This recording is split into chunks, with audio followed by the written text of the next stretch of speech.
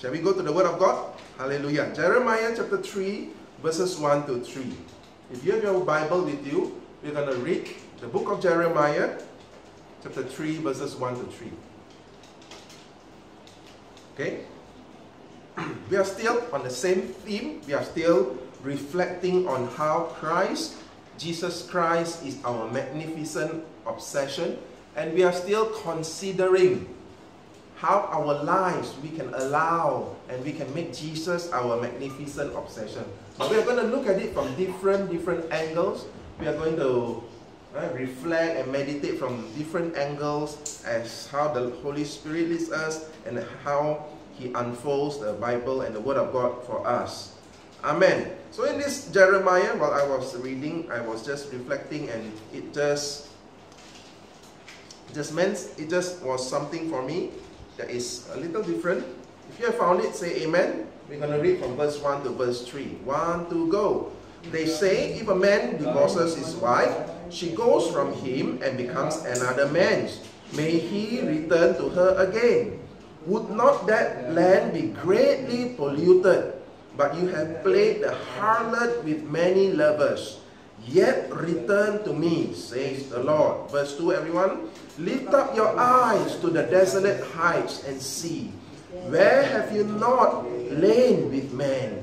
By the road you have set for them, like an Arabian in the wilderness, and you have polluted the land with your harlotries and your wickedness. Verse 3 Therefore the showers have been withheld, and there has been no latter rain. You have had a harlot's forehead, you refuse to be ashamed. So Jeremiah is a very deep. If you read, I know I always struggle with the book of Jeremiah. There's so many things, so many things. I think there are 52 chapters, if I'm not mistaken. So many things in this book that we struggle. You know, we just read that, but we don't really. We know the background of the story. You know, God is warning His people. Babylon is going to invade His land, and God raised up Jeremiah as a prophet to prophesy. We know the theme but it's not enough to know the theme. If it is just to know about the theme, then the book of Jeremiah is just one chapter. Ah. But why did God, you know, why did God spoke to Jeremiah again and again through all these verses? So there are different things we can learn from the book.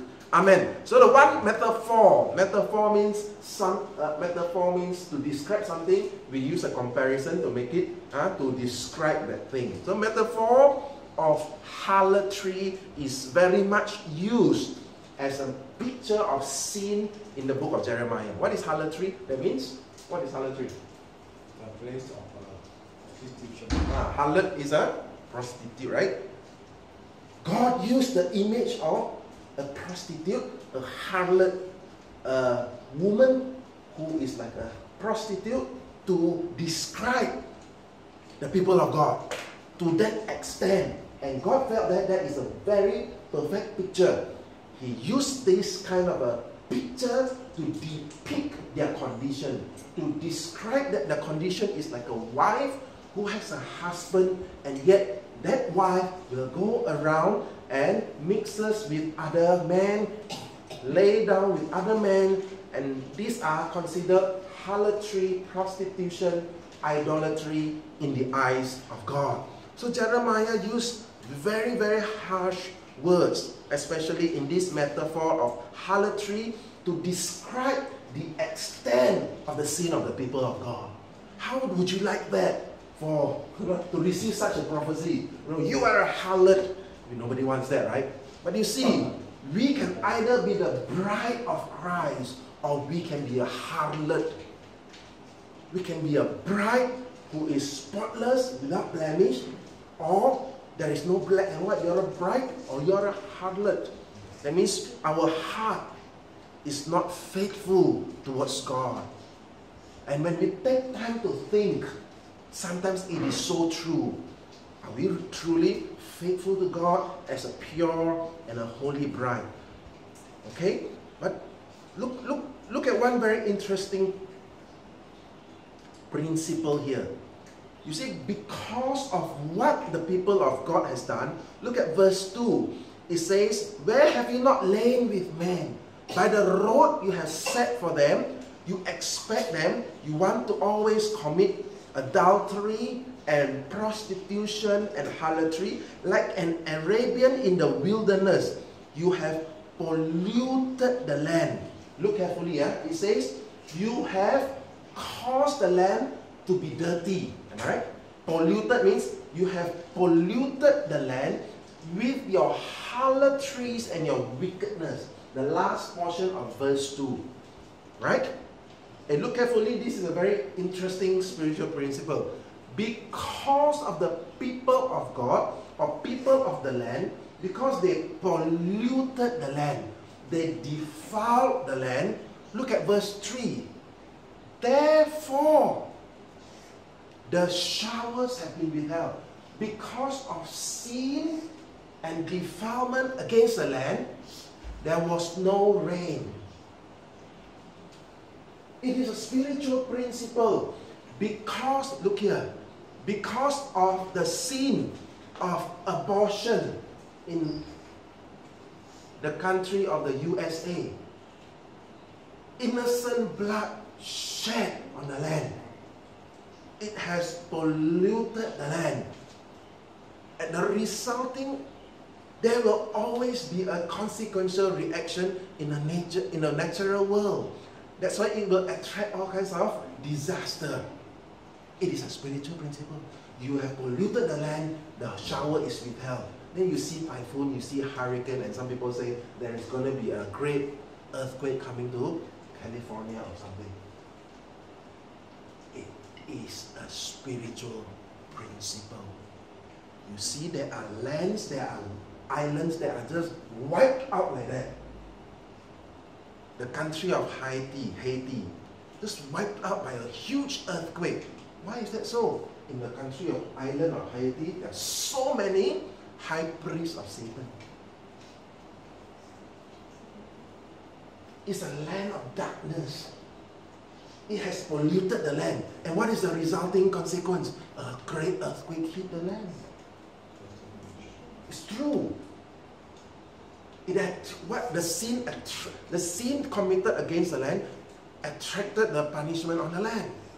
Pollution to the land has a direct consequence. So there are many levels of understanding we can huh, make use of this spiritual principle. Showers have been withheld. We can also ask ourselves, has the favor of God been withheld? Has the blessing of God been withheld? Has the, the presence of God has been withheld from our lives. And it says there, and there has been no latter rain. It is also a picture. If there's no refreshing, no renewal in our lives, we must ask, is it because of the condition of our hearts? We talked about the condition of the land attracting consequences in the natural world. Then Jeremiah also used the picture of the heart as the land. He says, break the fallow ground your heart is like a ground. If your heart is hardened, if your heart is not in the right condition, it will not have rain. It will not have the shower of His favor, His presence. Amen. Are you following me? It is a spiritual principle. It is not that we do something to qualify for blessings on it. No. It is always the grace of God and the blood of Jesus that qualifies us. But it is not that, oh, I have fasted. Because I have fasted, I can, I can hear God's voice. That is not true. You fast is very important. But because you fast, you position yourself. When you fast, you withhold from eating. Your physical, you cause your body to be silent. Then your soul, you withdraw your flesh then your spirit becomes more acute in its sensitivity. So it is not, I fast. Because I fast, I will hear God's voice. No, you are positioning yourselves. Amen. Amen. Amen. It's not what you do. Oh, I spend a lot of time. Of course, you and I need to spend a lot of time with God. The more we spend time with God, we allow the Holy Spirit and the presence of God to condition our hearts you and I don't spend time with God, we are not exposed to the presence of God, we do not allow God to condition our hearts, work in our hearts, to hear from Him, to receive from Him, to know what direction to take, to know what is going on in your life. It's not possible. So it is not the spending of time, it's not the fasting. Oh, then I become. So people get it wrong. Oh, it's my fasting that caused this, it's my spending. No. It's, we do all that to condition ourselves. We, we, to show that I value these things, I prepare myself. I prepare for that which is precious and worthy. Amen? Everybody get what I'm saying? So we cannot misunderstand that part. Amen. But the interesting part that I read from Jeremiah chapter 3, verse 3 is this where it says, You have had a harlot's forehead. Wow, do you want to know how it looks like? You have had a, everybody touch your heart, forehead. Hello, everybody, lift your hand, uh, touch your forehead. Do you have a forehead? Oh, everybody has a forehead. Is it a harlot's forehead? But it's not just about having a forehead. It says you have had a harlot's forehead. Okay, number one, isn't it interesting? There is a forehead, and in the Bible, we have a consistent theme of forehead. You mean forehead? Is it just mentioned here? No. If you are a student of the Bible, if you are a student of end times, you know that forehead is very important. You are not supposed to put on the mark of the beast on your oh, forehead, right? Oh, now you see. Oh, yeah. You're not put, supposed to put the mark of the beast on the forehead on your hand. So this is not the first time. It's just that many times we read and we just pass, ah, okay lah, harlot's forehead. Maybe it looks certain way. But there is a consistent theme throughout the Old Testament and to the New Testament of this metaphor of forehead. Which today we are not going to look at, wow, what is the mark of the beast on the forehead, right? I'm, I have 66. Huh? 66. So how is it? You're not going to look at that. But you see, there's, there are many levels of truth we must understand. Of course, it is very possible. In the end times, one day everyone will have to put something there. It is very possible it is a physical forehead. Understand? It's a physical hand. But at the same time, there can be another layer of truth. It speaks of a metaphor also. Forehead is a part where? Is, is the forehead a part of your body? Yes. Where is it? It's a part of your head, right? Forehead, you cannot say it's part of your chest or what? So head usually speaks of what? It's not here, it's not here, right? It's here near your brain, right? Okay, so it's a metaphor of many things, okay? Okay, let's, let's say it's, it's a metaphor of that which occupies our thought life, our consciousness, our attitudes. Can I say that? Can I say that? When we say metaphor, this is where you think, right? So it's not just your thought life, but your attitude, your consciousness. Okay?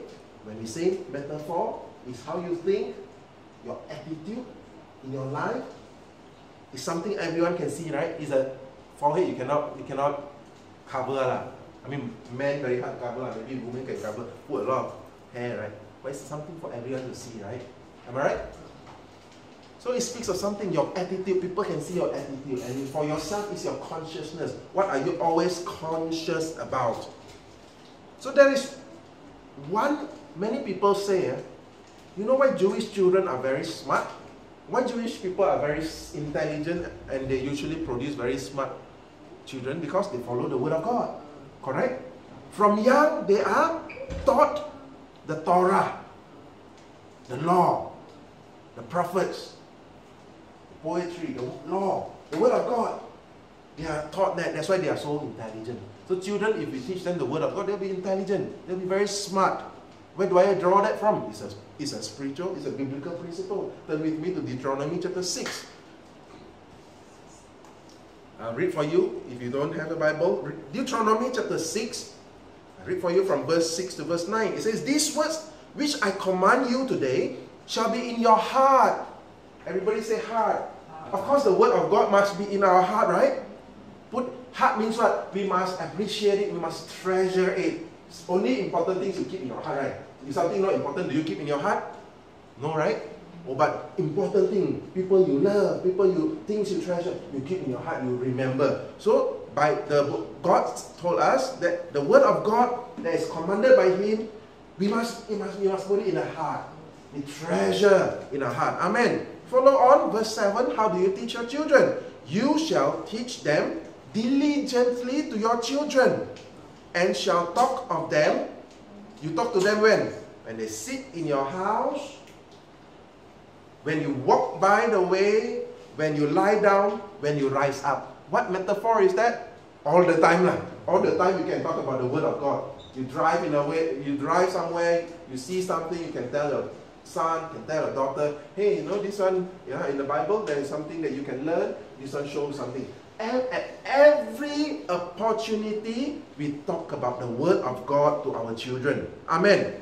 That is how the Jewish people teach their children. When you lie down, when you sit, when you walk, when you rise up. Correct? Go on, verse 8. You shall bind them as a sign. Look here.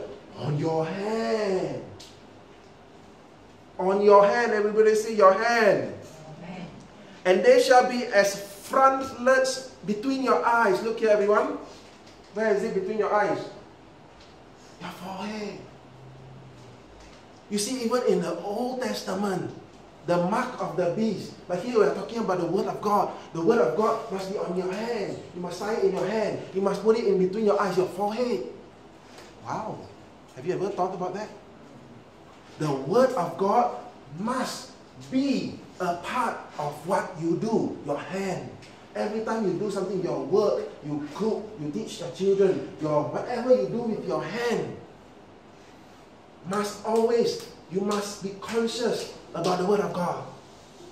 You are ruled, you are governed by the truth of the Word of God, by the Spirit of the Word of God. One day we will go into that because today we are not going deep into this. But look at the secret of the Jewish parents. Of course, in the letter of the Bible, they actually tie something. If you see Jewish people, they tie something, they wear something on the forehead, they wear some, yeah, they wear something here and they wear something in their hand. It's real, that's physical. But this is the letter of the word. Don't go back today and buy something and wear somewhere.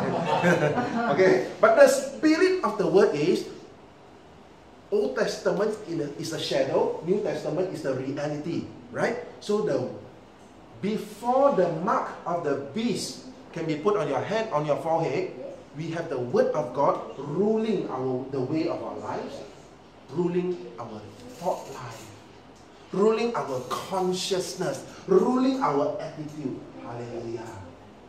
Actually, there's very there are many more I want to talk about this, but this is not the theme of what we're going to say here. So, but look, the word of God must be conscious in our mind. So it speaks about our attitude, our thought life. You can take it down, Deuteronomy chapter 11, verse 8. It says the same thing. Bind them as a sign on your hand, and they shall be as frontlets between your eyes. So, number one,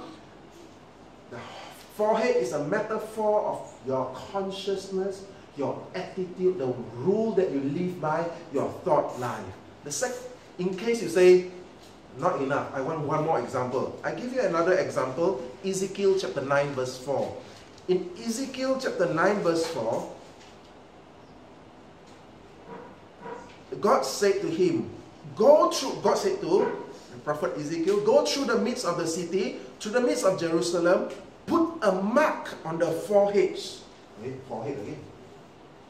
You see, Ezekiel chapter 9, verse 4. Put on a mark, a mark on the forehead of the man who sigh, who cry over all the abominations that are done with it. Wow, so dangerous, you see. In the book of Ezekiel, it's either, you know, for example, I'm giving a uh, general example. If God wants to punish a group of people and God wants to save a group of people, same like Passover, right? You put a mark in the doorpost. You put the blood on the doorpost. So when the angel of death comes, it will pass over every house that has the blood. Amen. You remember that? So this is similar. In the book of Ezekiel, God said, those people who sigh, who cry over the sin in the land, you put something on their forehead.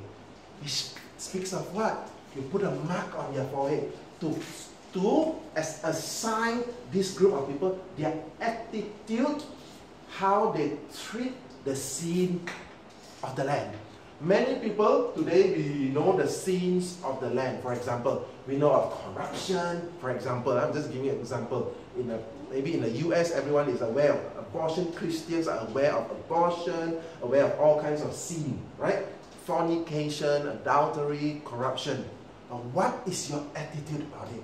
If we watch the movies every day, we will think every movie has a adultery element, 100% one. Correct or not? Every movie, you know, the man, the woman, the woman will flirt with another man and end up, sure one. Violence is very much an element of every movie. Correct? But here Ezekiel say, if you identify with them, of course you will not cry over this sin. Your attitude towards sin is like commonplace. Everyone is doing it. It's just another movie. It's just another thing. If that is the case, you will not receive a mark on your forehead.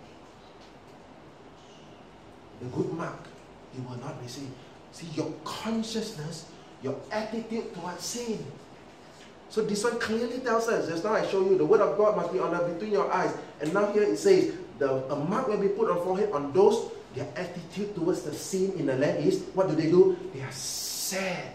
They cry over the sin of the land. Let's be honest. Do we take that view? Do you cry over the sin of the land? No. Let's be honest. I mean, we, but we don't feel anything when people divorce. Ah, normal. Ah. Until to the extent in the US today, they are saying, shame on the church. We have brought abomination to God. The rate of divorce in the church is more than outside the church. And what is your view? Ah, normal. You say, oh yeah, this is like that, uh, normal. When you be watch violent acts in a TV, I'm also guilty. I watch like eh, like nothing only, right? Mm, well, people knock on each other's car like like very nice to watch. Bang here, bang there, kill here, kill there. like nothing one. Like like nice to what right? Take gun. Nothing. What? How do you view the scene of the world, the scene of the land?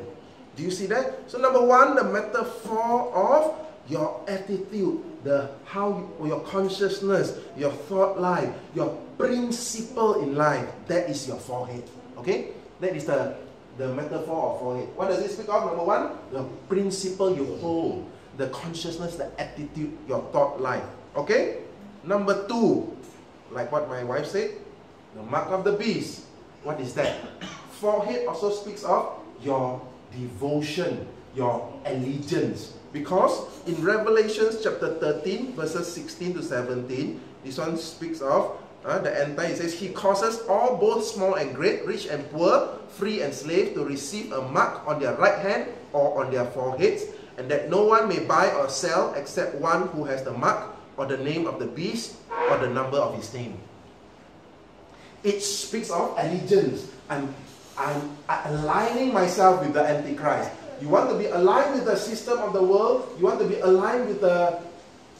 You want to pledge allegiance to this system of the beast. Take the mark. You take the mark. So forehead number one speaks of your attitude, the principle you hold, the thought line of consciousness, and number two, it speaks about your allegiance, your devotion in life. It starts even now. Now nobody will force you to take a mark, but ask yourself, ask myself, am I devoted to the system of the world?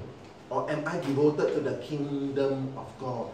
Do I pledge allegiance to the kingdom of this world or the kingdom of God? Amen. Amen. Just now we talked about how the Jewish people they educate and they raise their children, right? That's a very important principle. I just want to put a footnote here because I just thought about it. You see, there is a danger in the end times. As much as we have this spiritual principle that we have to educate our, educate our children, raise them well, the Bible says there is a man named Eli. Eli who didn't take care. Samuel was a prophet who did not take care of the children. Mm. And it is a very dangerous thing in the end times. If we do not take care of our children, we end up destroying our children. Amen. We got to we got to be We got to be cognizant of this. I cannot leave my children, let them do what they want. Amen. We have the responsibility. Okay? So, what do we pledge our allegiance to God, or do we pledge our devotion and allegiance to the kingdom of this world? And in the New Testament, it clearly says as a principle in 1 Corinthians chapter 6, verses 9 to 10, I read for you. Do you not know that the unrighteous will not inherit the kingdom of God? Last week I told you, right? It is the Father's good pleasure to give you the kingdom of God. Remember that? It is the Father's good pleasure to give you the kingdom of God. As much as God wants to share the access to his realm, to his kingdom, to walk in his kingdom, to access his kingdom, as much as that is his heart's desire, not everyone can inherit it. Do not be deceived. Verse 9. Neither fornicators, nor idolaters, nor adulterers, nor homosexuals, nor sodomites, nor thieves nor covetous, nor drunkards, nor revilers, nor extortioners will inherit the kingdom of God. As much as God the Father wants to give us the kingdom of God, if we fall under any of this category, you and I cannot inherit the kingdom of God. And don't just say, oh, I'm not an adulterer, I'm not a fornicator. Are you an idolater? Are you an adulterer? Like what Jeremiah said, of course you are faithful to your wife, but are we faithful to God as a bride? Are we worshipping Him and Him alone? If we have other idols in our lives, we are idolaters. If we are idolaters, we cannot inherit the kingdom of God. Let's put it very plainly. If we love the world, if we love God, we cannot access, inherit the kingdom of God. Let's make it very plain for everyone. And amen. Let us not compromise. It is as clear as that. As clear as that. Things are getting, the forces of darkness are making things to become more and more less clear. They insist that I was born this way, I was born this way, so can live like a homosexual. That is all rubbish, and lies, and deception. That is why if you are not founded on the word of God your life, you begin to believe these lies. Oh, maybe, or maybe God created like that, them like that, and then they have this thing. It is all rubbish. The forces of darkness are telling you, the forces of evil, they try to confuse the people everywhere. No, they are born like that. Oh, you, you all don't love them. Ah. Homosexuals have no place in the kingdom of God. Everyone say amen.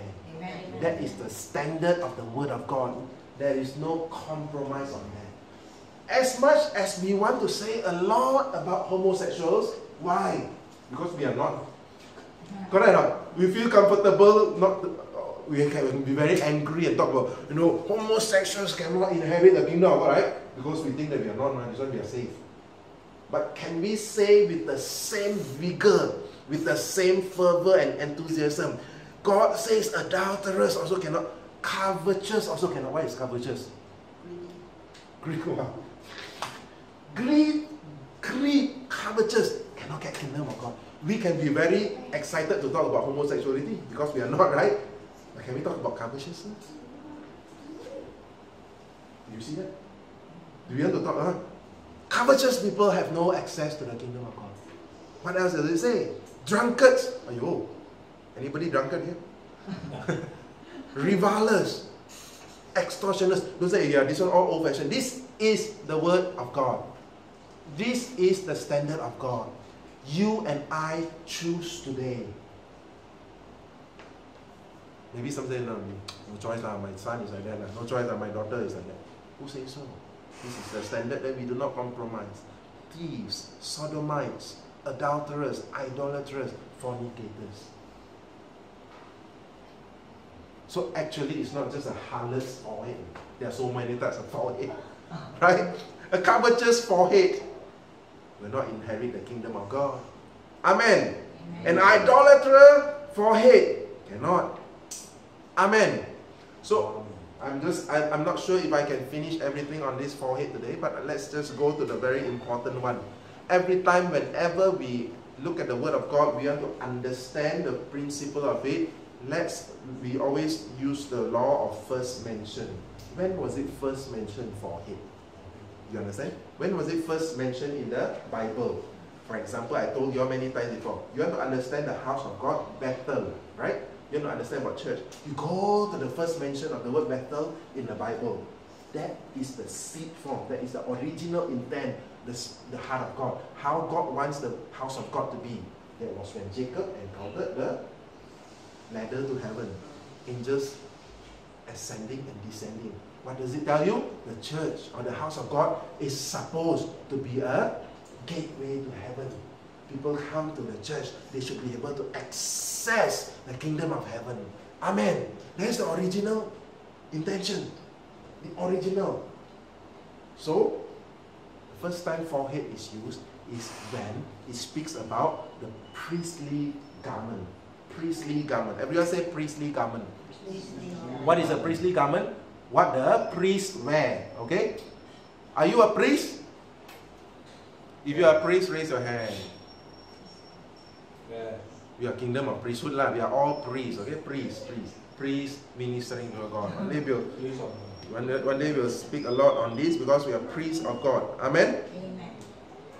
So this is the garment for the priest, for Aaron. I'm going to read for you from Exodus chapter 28. If you have your Bible, I would suggest that you read with me also. Exodus 28. Exodus 28 verses 33 to 38. If you have found it, say amen. Oh, nobody has found it. Very honest. Exodus 28 verses 36 to 38. Okay? Uh, You shall also make a plate of pure gold and engrave on it like the engraving of a signet holiness to the Lord. You shall also make a plate of pure gold and engrave on it like the engraving of a signet holiness to the Lord.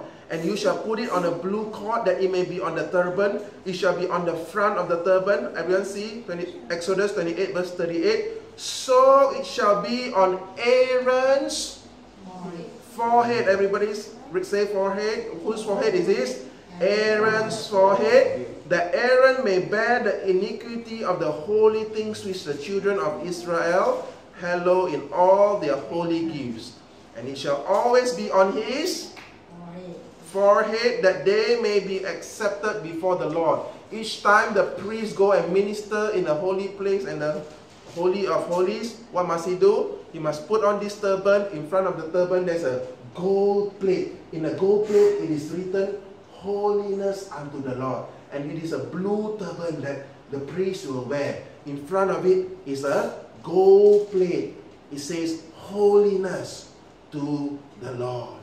And according to the word of God, it says every time they minister in the tabernacle, he, he must wear this.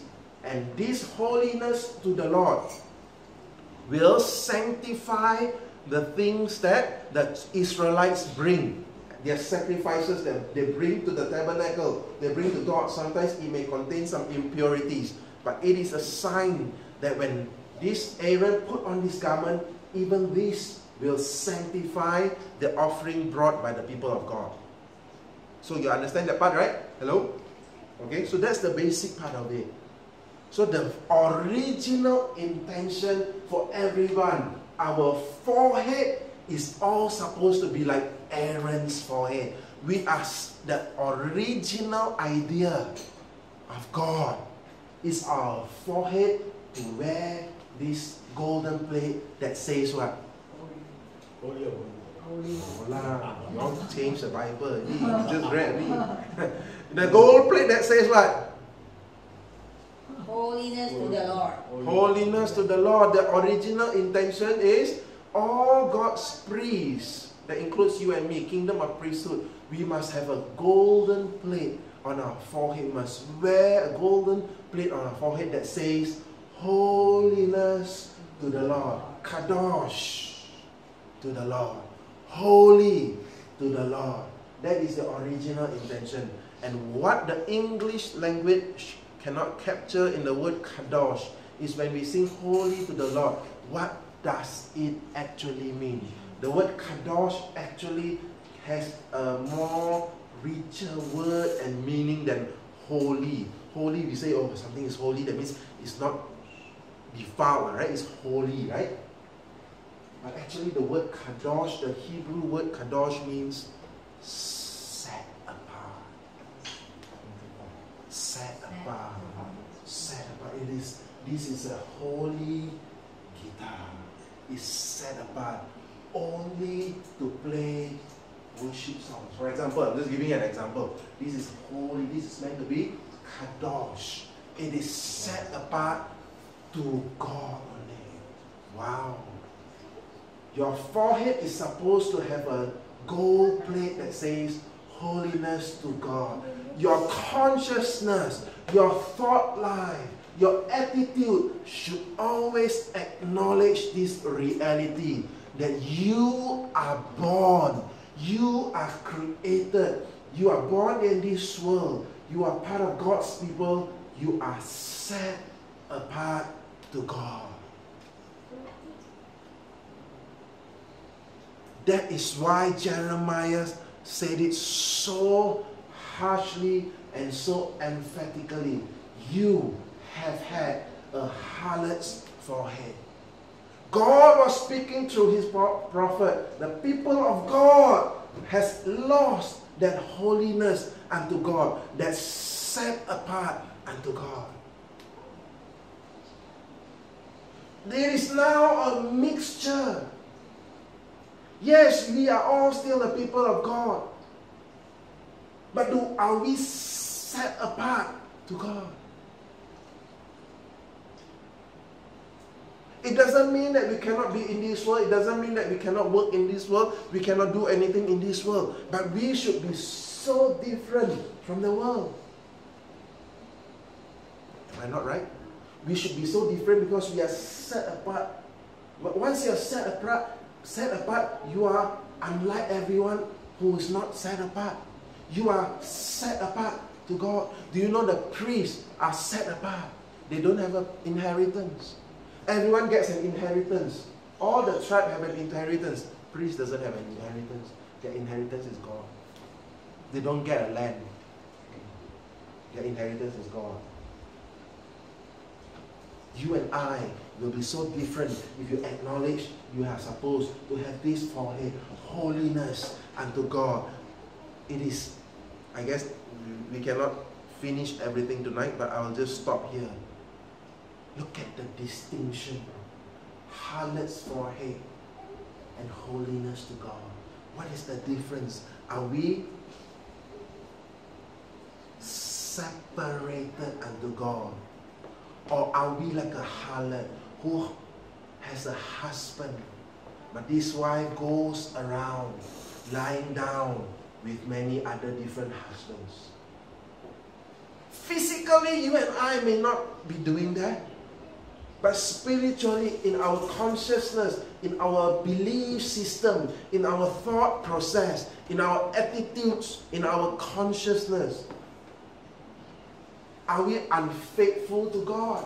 When we do certain things, when we judge a situation, when we are asked to decide on something, to choose this or choose that, do we show our separated unto God? Or do we judge and do we decide from a very unfaithful heart towards God? Where our decision, our judgment is always prejudice towards ourselves prejudice towards the world.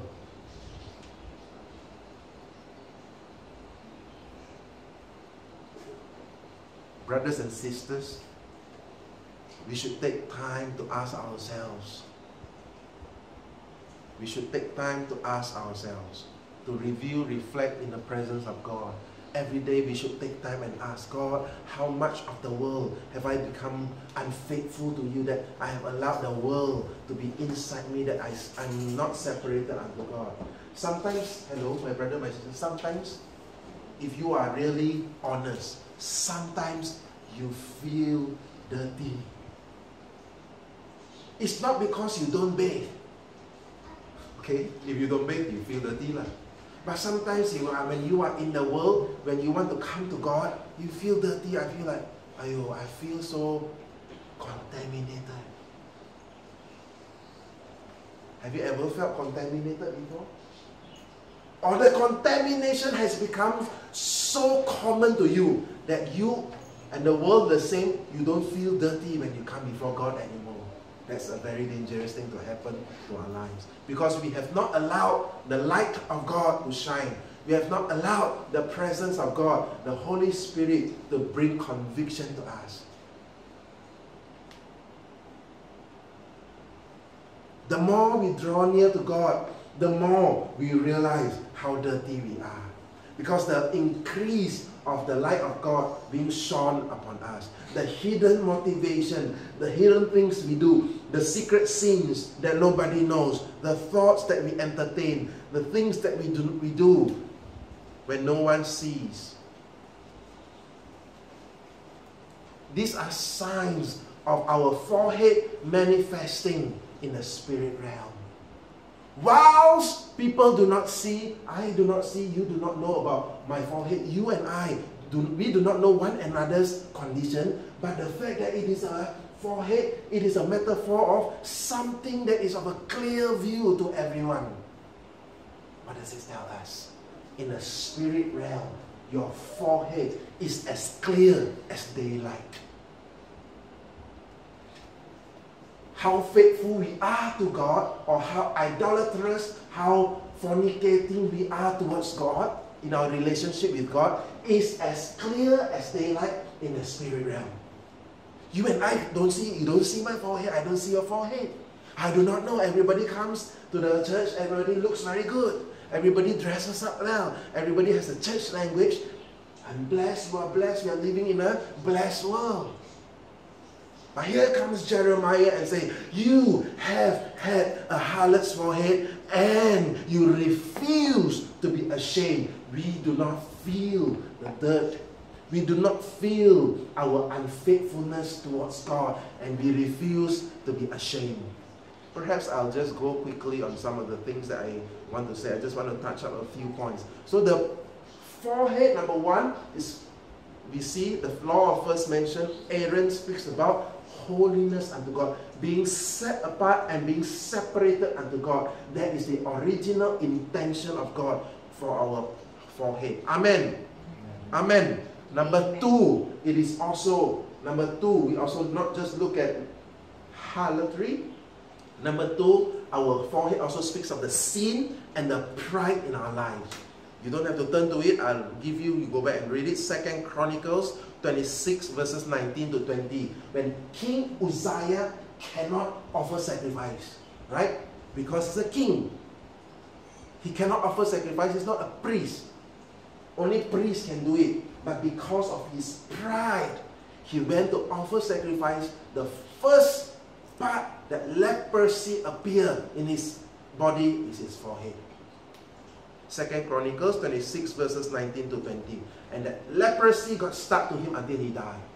Because of his pride, he said, I'm a king. I can do what I want. He went against the word of God, against the spiritual principle, the boundary that God has set in his life. You are a king. You are not supposed to burn incense. He went ahead to do it, and the leprosy immediately appeared on the forehead right in front of all the priests. They saw it. He has to leave the place. The next one, your forehead also speaks of stubbornness and defiance against God. In the same book of Ezekiel, God told Ezekiel, I'll make you a prophet, you're going to prophesy to these people. But these people are going to have a very hard forehead. Speaks of a very stubborn heart. When you prophesy, they will not listen. But God told Ezekiel, I will equally give you a hard forehead to go, go to them. So these Forehead can be like a harlot forehead, meaning what? Unfaithful, adulterous towards God, love the world, have many parts, have many loves, not just one love. Harlotry. many love, love of pleasure, many loves. But God, God is seeking and God is calling for a bride. A bride has one single love, love for God. And one harlotry. Number two, Uzziah, King Uzziah, right? King Uzziah's pride. Number three, Ezekiel speaks of stubbornness, defiance against God. This one I can give you another example. What's the best example for children? When David fought against Goliath, David took the stone and he hurled the stone, and the stone hit the forehead of the Goliath. Do you see how many times now forehead is mentioned in the Bible? You see the theme and the truth that God wants to portray. When David saw Goliath, what did David say? You uncircumcised Philistines. Remember that? The forehead of the Goliath speaks of what? You, the reproach of Israel, you bring shame to Israel. You who are uncircumcised, you want to defy the army of the living God. So the Goliath, the forehead of Goliath speaks of defiance against God. You know, you're stubborn against God. God tells you certain things, you're stubborn. If we are stubborn against God, if we defy, defy means we go against what God says. If we rebel against God's people, if we rebel against God's word, we have the Goliath's forehead. No two way about it. And it needs a stone to hit you down. It needs the stone to hit us, to kill the Goliath for him. It speaks of the uncircumcision. It speaks of our flesh. Our heart that is not circumcised is our flesh. Goliath has very much flesh. He's a huge one. All of us, there is no excuse. We have flesh, right? Maybe you have a, a little bit of a Goliath forehead. we have a little bit of a Goliath forehead. We have a little bit of a Harlot's forehead. We have a little bit of a. Aaron. Huh? Aaron. Aaron's forehead. We have a little bit of King Uzziah's forehead. But God doesn't want that. God just wants the same, like a what Aaron put on the forehead. Amen. Amen. Amen. Amen. The stone, only the stone can only one stone hit the forehead and Goliath fell. David said, I come in the name of Yahweh. I come against you, you uncircumcised Philistines who wants to defy the army of God. I come in the name of Yahweh. The stone speaks of the name, the character, and the authority of God. Only the character of God, the authority of God, will kill, will put to death the flesh. The stone speaks of the character and the authority of God. The stone speaks of Jesus. Jesus is the stone, the cornerstone, the rejected stone, Captain. the capstone. So the stone is Jesus Himself. My brother, my sister, I pray that this is a message that we will take into take, carry with us in our hearts, and that we always examine ourselves. This is not a popular message. Nobody wants to hear all this. We like to hear positive messages. You and you, some of you may be thinking, ah, this is such a negative message. I reject all this message. I rebuke all this message. Well, it's your choice. It's your choice. It's your choice. If we are always living on positive messages, we are we are tearing a big portion of the Bible out from the Word of God. It is our choice. It cannot always be just drinking bubble tea, you'll die. You cannot be always just you cannot be just eating fries your lifetime, you'll die. The natural world is sending out a message. The natural world is sending out a message. If you keep drinking bubble tea, you'll die. If you keep drinking positive motivational messages, your spirit will die. It's the truth. It's the truth. Until we cannot tell the difference anymore, we don't feel ashamed anymore. I don't want that. Until we don't feel dirty, sometimes we come to God, wow, we are like, oh no, here I am, wow, like commanding God. It's very dangerous. Oh. It's very dangerous. I don't know who are we commanding. Now we are God, no, we're commanding God. We come as so. Yes, we must come very boldly, but we must know our him. Amen. I'm going to end with this. So, how? Come, everybody, let's look here. What is the answer if we have a harlot's forehead? What is the answer if we have a Goliath's forehead? I would rather admit it, right? We don't have we don't have hundred percent aliens for him. What if you and I have Uzziah's him? What if you have all these him? I'm going to bring you a picture from the New Testament. When you catch, when you catch this, it will change you. When you catch this, you will receive this revelation. When Jesus died, when Jesus came, when Jesus was in the Pilate's place, when Jesus was judged by Pilate, you know what happened? After he left Pilate's place, the soldiers, what did the soldiers do? They twisted a crown of thorns for Jesus to wear. It was a thorn that at least it was 3 cm full of thorns, and Jesus wore a crown of thorn on his head. And when that crown of thorn reaches his head, it reaches his forehead. It is because Jesus wore that crown of thorns. Your forehead, my forehead can be redeemed, can be restored, can be renewed, can be exchanged. But remember this.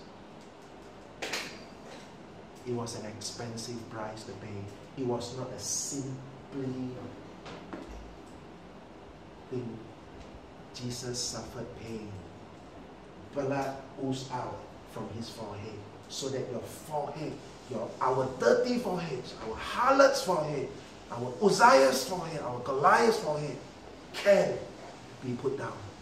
All because the crown of thorns that were twisted. Who twisted the crown of thorns? You and me. You and I. We took part when the army twisted a crown of thorns and placed it on the forehead of Jesus the 3 cm thorns all over the crown. The soldiers used it to mock Jesus. After they put the crown of thorns on his head, they put on him a royal purple robe and say, Hail the King of Jews. They mocked King Jesus. They said, This is the King of Jews. Worship him. Let him rescue himself. My brother, my sister, it was an expensive price for God to redeem your forehead, to redeem my forehead. Let us not return to a harlotry's forehead. Let us not return to Uzziah's forehead. Let us not return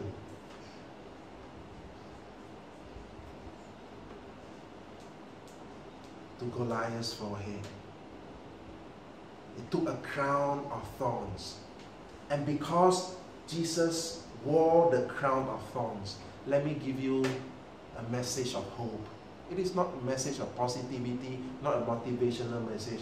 Because of the price that Jesus paid when he put on that crown of thorns that pierced through his forehead, the three, at least three centimeters crowns all over here, his head that pierced into the forehead, blood oozed out, and my brother, my sister, every mental illness, every mental condition is no longer a hindrance, is no longer is no longer an excuse.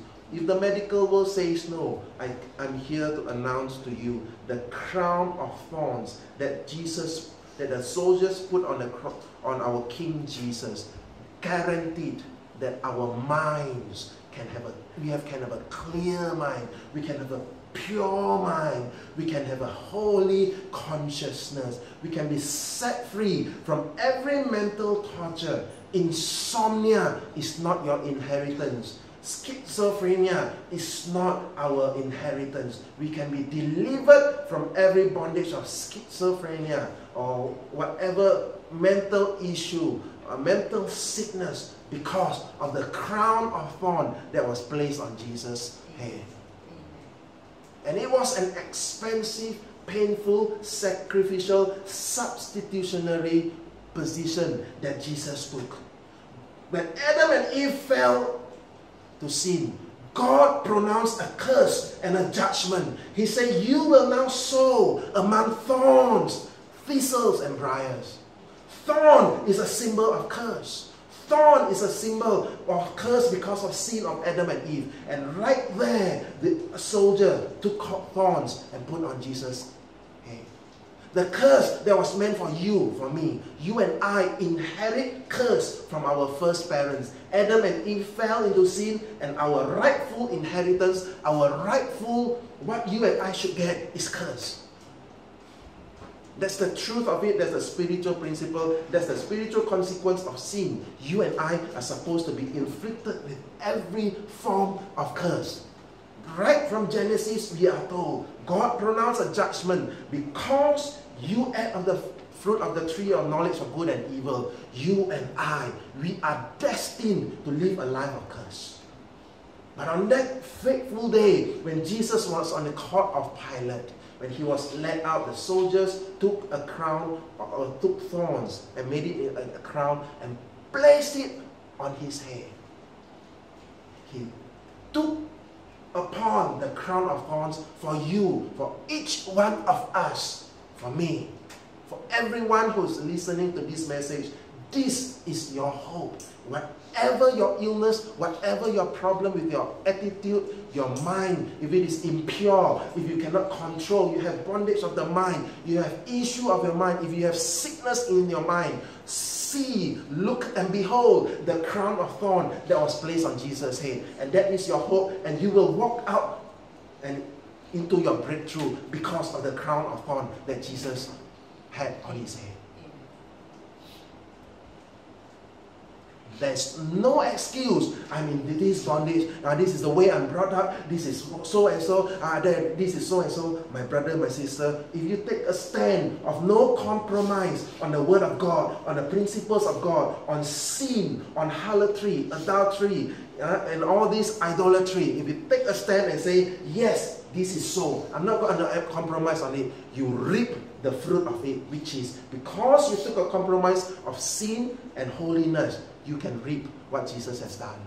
If we play a compromise game, maybe we can do a little bit of world, do a little bit of the flesh, do a little bit of compromise. How can we reap the expensive price that Jesus paid on the cross? That Jesus took upon himself the crown of thorns. Are we making fun of Jesus? If we are not, if we are compromising on sin, are we making fun of Jesus? Are we trampling on his suffering? Are we making fun and taking it lightly? That is a great sin. If we are taking lightly, if we treat sin lightly, we are taking the crown of thorns that was placed on the head of Jesus lightly. It was always meant to be a serious thing. God Himself pronounced a judgment of curse on mankind. And all our problems, let's put it very clearly, all your problem existing long time going to be all our problems stem from the issue of sin. There are no two ways about it. It is because of sin, our sinful heart, our sinful forehead, our attitude, consciousness, our principle, our the way we live, the way of our lives are so sinful that it necessitates, it requires God to take on that one to redeem our foreheads. My brother, this is the hope for you. You can have a new forehead. My sister, this is the hope for you. You and I can walk in the kingdom of God with a new forehead, with a new mind, the mind of Christ, with a new consciousness, with a new set of principles, kingdom truth principles. But that depends on your attitude very much on how we see sin. Do we treat it lightly? Are we trampling on what Jesus has done? Remember, it took a crown of thorns he, that was placed on his head. And we are not talking about short thorn. It was a long thorn that pierced right into the temple, into the forehead of Jesus for a clear reason to redeem you, to redeem me. Amen. I want you to just close your eyes for a moment as we reflect on the crown of thorns. Father, we thank you for your word. We know that you are a good God. We thank you for the revelation of your word that you are showing us. Thank you and we welcome you, Holy Spirit, in this hour, in this moment, as we open our hearts. And we ask that, Lord, please speak to us. Please reveal to us. Lord, when the soldiers twisted a crown of thorns, and when it was placed on your head, Lord, what was it, oh God? The pain that you went through, the mockery, when they mocked you, the King of Jesus, the King of Jews, when they mocked you, Lord, my brother, my sister, I want you to, in your heart, begin to open your the mind, your eyes of your heart, and God will begin to show you the suffering of Jesus, the crown of thorn that was placed on Jesus. That is a picture of suffering, that was a picture of mockery. They are laughing. You can't do anything. You claim to be king, but you can't do anything. It shows you are helpless, which is the truth. Many of us, sometimes we are in helpless position, in helpless state. I can't do anything about this. And it tempts us, it tempts us to make the wrong decision. We compromise on our principles. We compromise on our standards. We think that no one can help me, so I might, might as well I try this out. And we begin to become the unfaithful harlot. We become, we become the harlot inside us we begin to seek help from other husbands, from other men. We look to other men for help when our one and only husband is Jesus Himself.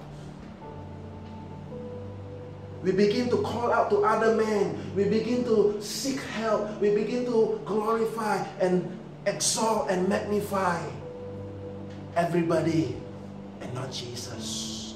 Father, heal us even at this moment, as you picture the crown of thorns in your mind, Father, the blood that drips out from the crown of thorns, Father, let that blood begin to wash, begin to wipe away the sin of harlotry in our hearts, the sin of unfaithfulness towards you, Lord.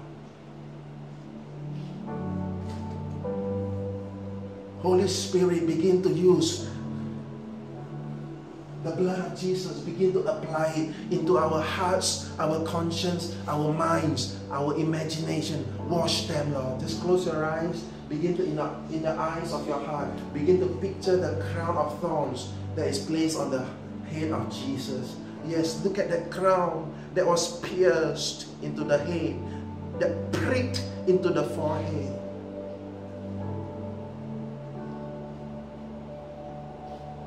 Begin to see the areas of your defiance, your stubbornness, our stubbornness, our defying against God, our arguings. This is correct. This is my way. I want to do it my way. This is my way. My way prevails over God's ways.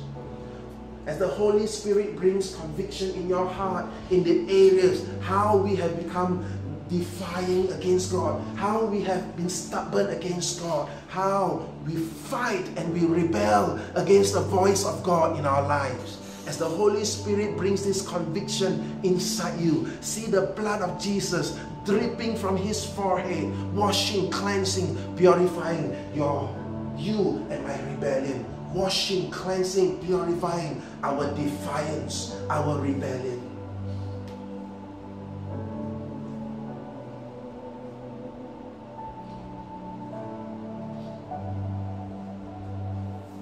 If the Holy Spirit brings conviction in our hearts on the areas how we pride ourselves like Uzziah, who has gone beyond every boundary God has placed in his life.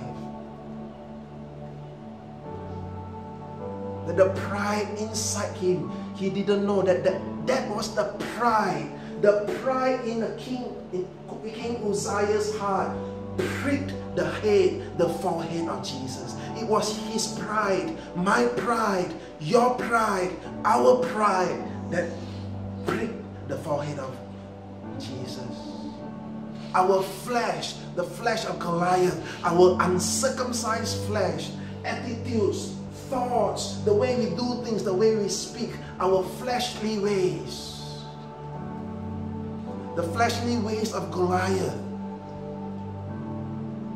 was the thing that caused the thorns to be placed on the head of Jesus. My flesh, my sin, my lust, your lust, our lust, the lust of our eyes, our lust of the flesh, the pride of life, the way we chase, like the harlot, like the description of Jeremiah, like the Arabian in the wilderness, how we wait, how we strategize, how we how fast we want to do certain things according to our way of thinking, according to the way of our thoughts. Lord, have mercy on us. Lord, cleanse us and purify us. The blood that flows from your forehead tonight, we receive it. Tonight, we receive the blood that has been shed. The blood that flows from your forehead, Lord. The blood that kept flowing from your forehead, Lord, even now is flowing, even now is cleansing, even now is washing and purifying each of our foreheads, our attitude, our thought life. Right now, receive the blood of Jesus washing you, cleansing you, making you pure. The moment you do not compromise, you admit and you confess, Yes, Lord, I have that harlot's forehead. Yes, Lord, I have the Goliath's forehead. Yes, Lord, my forehead is, has leprosy. If you confess your sins before Him now, in the Bible it says He is faithful and just and will forgive us our sins and will purify us from all unrighteousness. Brothers and sisters, and the Holy Spirit is present in our midst, take this time to confess your sin. Begin to tell Jesus, I'm sorry, Lord. These are the areas of compromise. These are the areas of my harlotry. I'm, I'm not faithful to you wholeheartedly, Lord. Lord, I'm not faithful to you wholeheartedly, Lord. Forgive me, Jesus. Forgive me, Lord. Have mercy, Lord Jesus. Lord, the dirt, I have not felt how dirty I was, how dirty I am when I approach you. Forgive me, Lord. Like what you pronounce on Jeremiah, you feel no, you're not ashamed. Come, Holy Spirit. The light of Jesus shine upon every heart tonight. The conviction of the Holy Spirit upon every heart tonight. Just open your heart and tell Him, let's not keep quiet. As the Holy Spirit is working in you, He begins to maybe bring a picture, a memory of the things you have done. Your flesh, your, your sins, your unfaithfulness. As He shows it to you, begin to confess them before Him one after another. Lord, I'm sorry. Lord, my attitude, my pride, Lord, my gossiping, Father, Lord, my unthankfulness, my ungratefulness, cleanse me, Lord. In this period of time, Lord, of reflection, of repentance, Lord, I bear my soul, my heart open to you, Lord. Let your Holy Spirit convict me, open my eyes to see the contamination inside me. Wash me. Cleanse me with your blood tonight. Wash me, cleanse me. Wherever you are, the Holy Spirit is present now. Talk to Him, talk to Him. Open your heart and talk to Him. Forgive me. Tell Him, Lord, this is my sin. Lord, this is my wickedness. Lord, I compromise. Lord, when there are things that trigger the flesh inside me, I fell into sin, I succumb into temptation. I compromise in my areas of faith. Forgive me, Jesus. I don't see you as my source of strength. I don't see you as my only source of help, source of hope. Sheke roboko sheke ke ramapa kikaramantoro shoko. Father, in Jesus' name, we welcome your Holy Spirit right now to every heart that is open. Shokorobo Shandaraba Shakaraba Romonto Rahanto Robo. Open your heart and tell Jesus, I'm sorry, I don't like the things of the Spirit. I like the things of the world. Forgive me, cleanse me, help me, Jesus. I compromise on worldly values, on spiritual values. Forgive me, Lord. Cleanse me. Forgive me for my envy, for my jealousy, for my greed, for my idolatrous heart. Wash me, O Lord. Wash me, O God. Wash me. Sheke robo. My envy, my greed, my covetousness, the idols in my heart.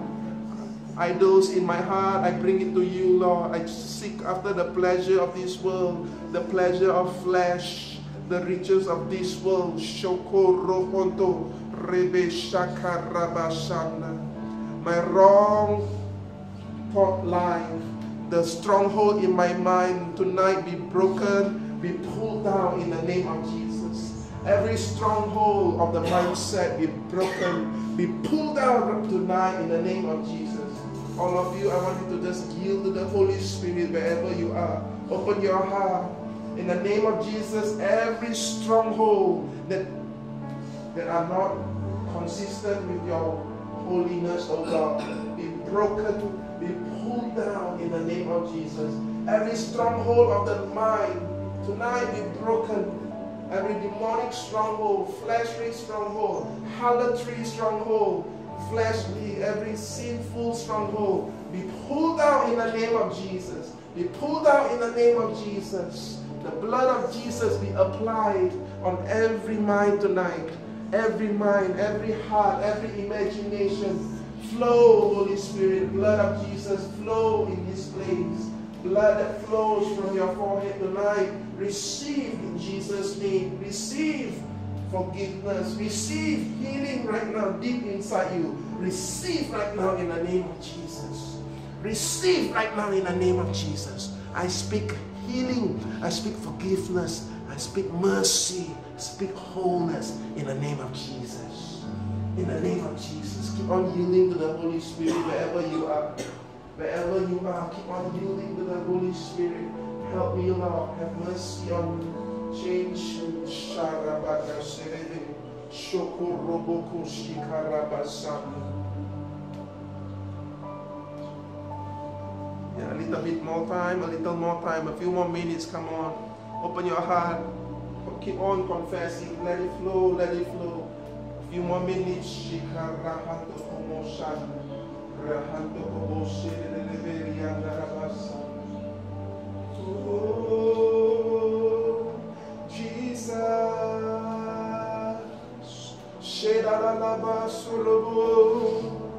Let it flow, let it flow, let it flow. Let the blood of Jesus flow in our midst tonight. Let forgiveness flow, let mercies flow. Strongholds be broken, Lord. Freedom, Lord, freedom. Voices, I see voices in your mind, be silenced in the name of Jesus. Wrong voices that you have been hearing and listening to, be broken tonight in the name of Jesus. I see voices that troubles you, that cause you to be fearful, voices that cause you to be anxious. Tonight be silenced in the name of Jesus. Demonic voices be broken from your life in the name of Jesus in the name of Jesus. Lies, deception be broken in the name of Jesus. Right now, in Jesus' name. Receive in Jesus' name. Thank you, Lord. Thank you, Lord. Thank you, Lord. Thank you, Lord. The word of God like a hammer, shattering every strongholds of the mind shattering every stronghold. Break it in the name of Jesus. The word of God coming to you like a hammer, shattering every demonic stronghold in the name of Jesus. Every bondage just be broken because through the word of God. All of you just receive as you keep on yielding. Something is happening inside you. God is doing a work inside you. Your bondages are being broken. You are being set free you are receiving freedom, healing, and wholeness. You got to concentrate and focus on Him. Thank you, Lord. Thank you, Lord. Thank you, Lord. The stone that David hurled on Goliath. Right now, let it shatter every Goliath's forehead in the name of Jesus.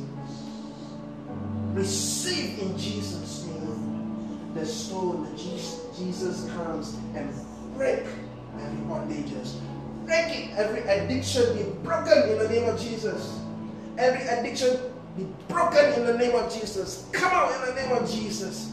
Every wrongful addiction, command it to be broken right now in the name of Jesus. The stone be hurled at you in the name of Jesus. The name of Jesus comes again, you uncircumcised Philistines. The name of Jesus.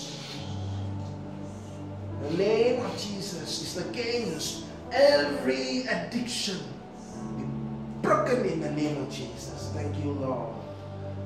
Thank you, Lord. Thank you, Lord. Hallelujah. Thank you, Lord. Thank you, Lord. I want you as to continue in that place, close your eyes. Just close your eyes and see the blood of Jesus flowing. See the blood of Jesus. The red blood of Jesus over you, over your minds. Erasing, erasing, forgiving, cleansing, healing, setting you free. Come, Holy Spirit, come, Holy Spirit, right now in the name of Jesus. Hallelujah, hallelujah, hallelujah, hallelujah. Wherever you are, receive, receive. I apply the blood of Jesus over your eyes. Receive the blood of Jesus over the eyes. The blood of Jesus over the eyes. Over your spiritual eyes. Over your spiritual ears. Your spiritual heart. Your perception. Your imagination. Your mind. The blood of Jesus the blood of Jesus. Hallelujah. Let it flow, let it flow, let it flow, let it flow. Yes, Lord, yes, Lord, yes, Lord. Yes, Lord, yes, Lord. Thank you, Lord. Thank you, Lord. Oh.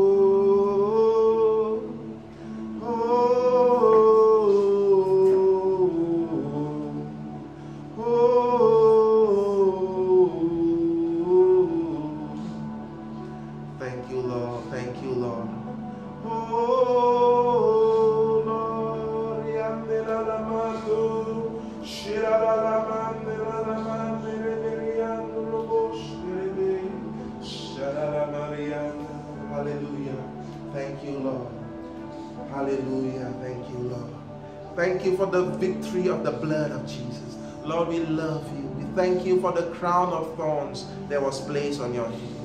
Thank you, Lord. Hallelujah. My brother, my sister, each time, each time the enemy is displaced, every time the blood of Jesus washes us, purifies us, now the, the Lord can fill us with the right thing. Now the Lord can bless us and fill us. If there was lust, now the now God can fill us with love. If there was envy, now allow the Holy Spirit to fill you with love. When there was compromise, allow now God to put faithfulness inside you.